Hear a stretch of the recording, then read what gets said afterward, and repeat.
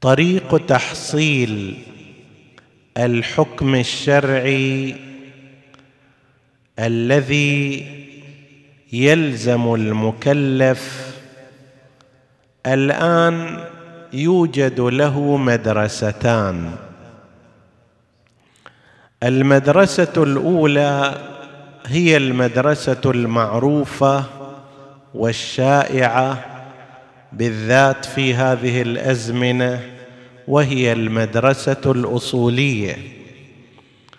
بدءا من تأسيسها الأخير الأكبر على يد الشيخ الأنصاري رضوان الله عليه وقبله صاحب الجواهر ومن تلاه من الاخند وتلامذته وتلامذته من النائين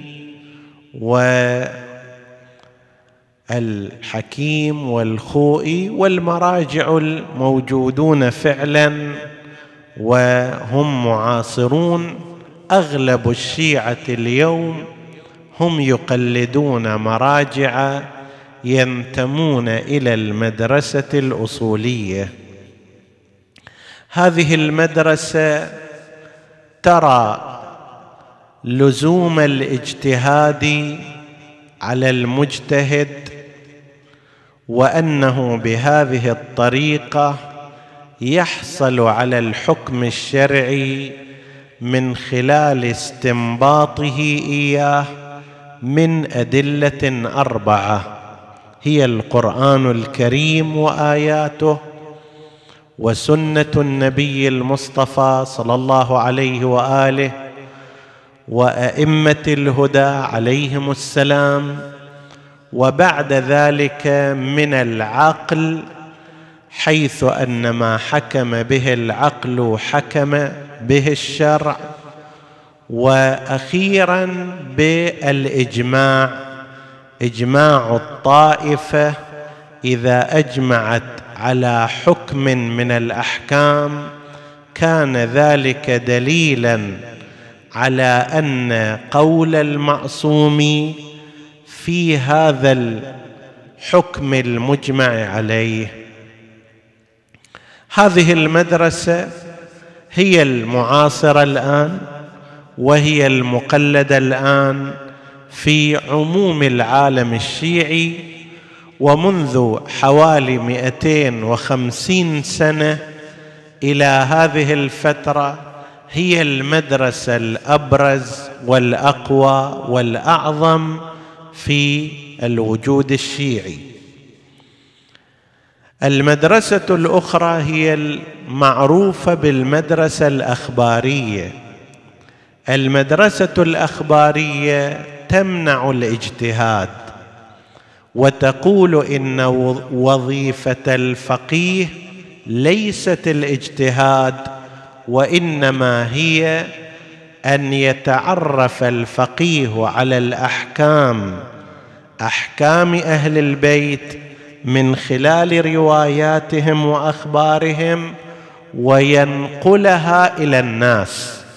هو عبارة عن جسر يطلع على أحكام المعصومين وأخباره وأخبار وأخبارهم وينقل ذلك بعبارات أوضح إلى المكلفين ولكن لا شأن له في قضية الاستنباط والاجتهاد.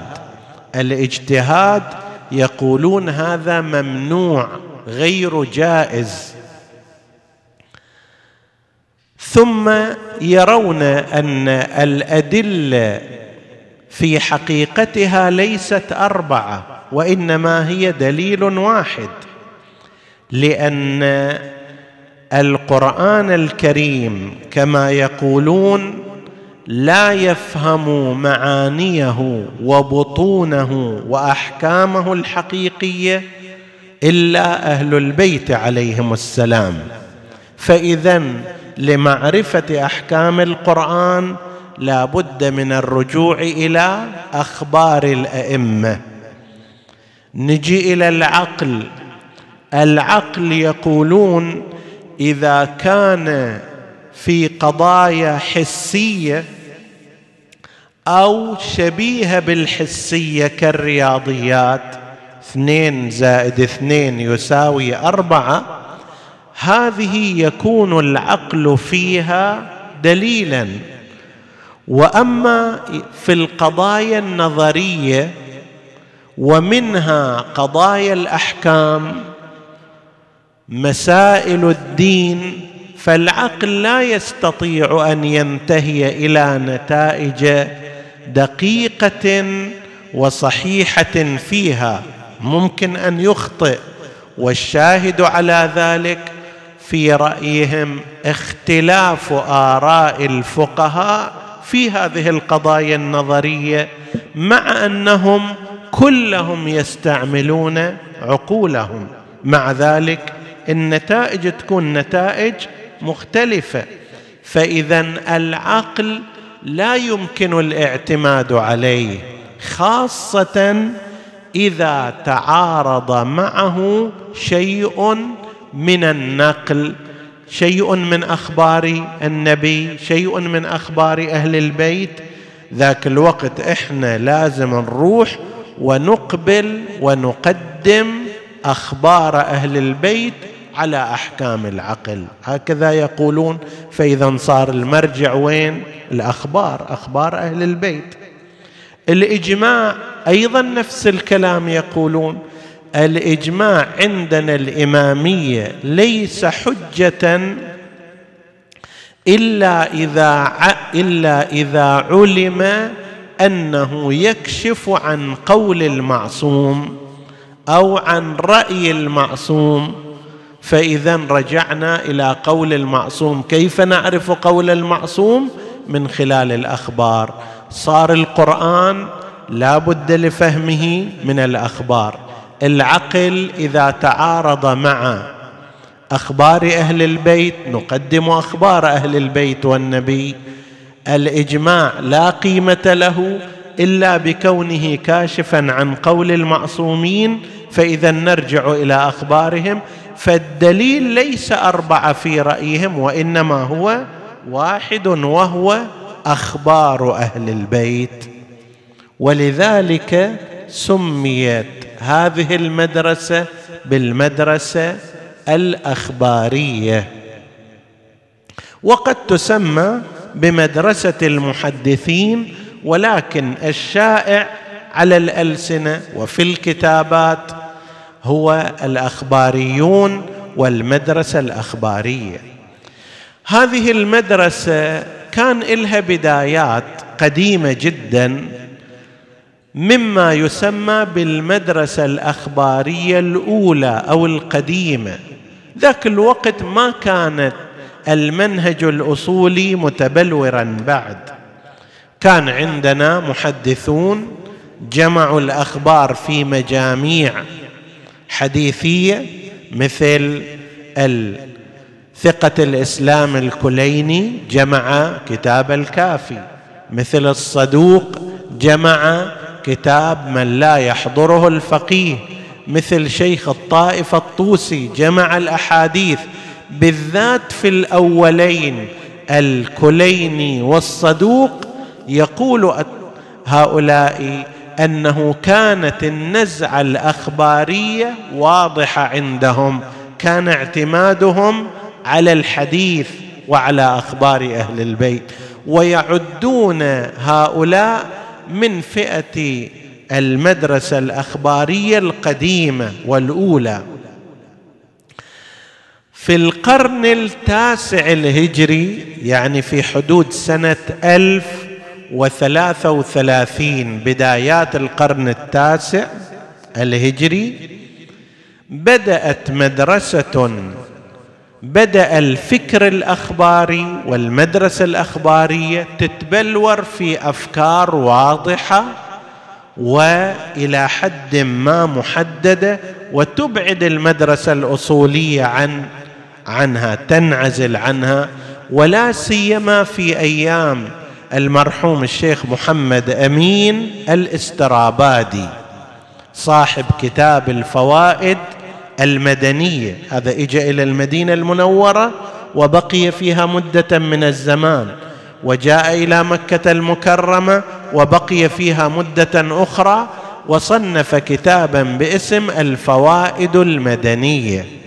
في هذا الكتاب بلور نظرية المدرسة الأخبارية وقال ترى شغلكم يا أيها المجتهدون الأصوليون شغل غلط لأن هذا المسير مالكم ينتهي إلى إبعاد أخبار أهل البيت ولا سيما أنتم تقولوا هذا حديث صحيح وذاك ضعيف وهذا معتبر وذاك غير معتبر. لا إحنا كل أحاديثنا معتبرة ومقطوعة الصدور.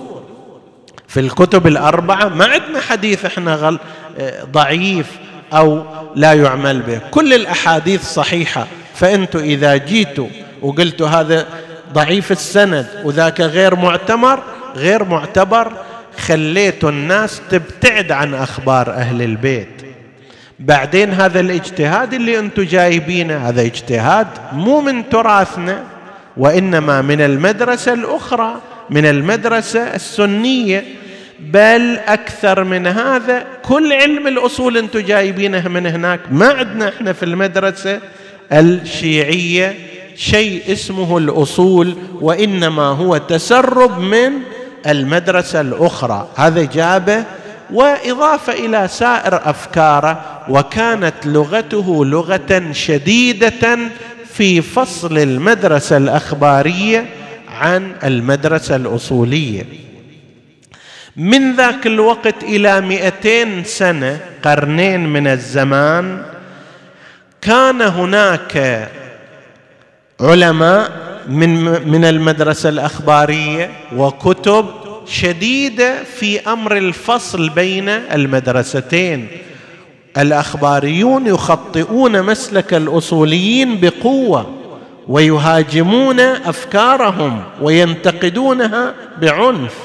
طيب إلى بعد مئتين سنة تقريبا بدأ الأمر يهدأ يعني بعد زمان الميرزا محمد الأخباري اللي قتل رحمة الله عليه وكان بينه وبين الشيخ كاشف الغطاء مواجهة شديدة جدا على أكثر من مستوى. بعد تاريخ الميرزا محمد الأخباري يعني في حدود سنة 1220 23 تقريبا بدأ توجه يميل إلى الهدوء فيما بين المدرستين ولا سيما مع بروز عدد من الفقهاء في المدرسة الأخبارية حاولوا أن يزيلوا حالة التشنج لصالح حالة التداخل. ومن أبرز هؤلاء المرحوم الشيخ يوسف البحراني رضوان الله تعالى عليه صاحب كتاب الحدائق الناظرة. شيخ يوسف من أعاظم المحدثين وهو أيضا عند الأصوليين فقيه محقق على درجة عالية من العلم ويعتبر كتابه الحدائق الناظرة من الكتب المهمة جدا في الحوزات العلمية التي لا يستغني عنها العلماء الأصوليون. في المباحثة في المناقشة يوافقون رأيه يخالفون رأيه إلى غير ذلك.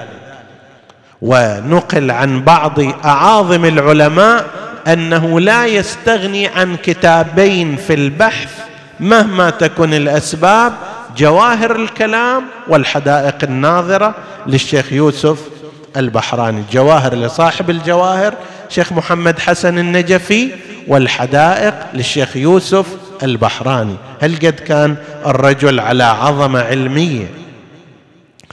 فبدأ منذ ذلك التاريخ شيء من الهدوء يحل محل حالة التشنج والمواجهة بين المدرستين وكان من ضمن ذلك أعمال الشيخ يوسف البحراني رحمة الله عليه كتاباته المختلفة لحن كلامه توجهاته وجوده في كربلاء في وقت اللي ازدهرت فيها أيضا المدرسة الأصولية أيام الوحيد البهبهاني رحمة الله عليه في كربلاء فزال ذلك التشنج بالتدريج وظل اتجاه التقارب والتمازج ينشأ في المدرسة الأخبارية والمدرسة الأصولية. وضمن هذا الإطار كانت بيئة المرجع الديني المرحوم الشيخ محمد أمين زين الدين البحراني أصلا البصري مولدا.